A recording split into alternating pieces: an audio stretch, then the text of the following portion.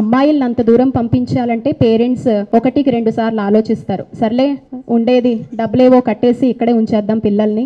వాళ్ళు అంత దూరం వెళ్ళి చదవాలని అనుకుంటారు. లేదంటే వాళ్ళ కళల్ని వద్దులేమ్మా డాక్టర్ ఏం చదువుతావు అని అమ్మాయి అనే దీంతో ఆపేసిన సందర్భాలు కూడా ఉంటాయి.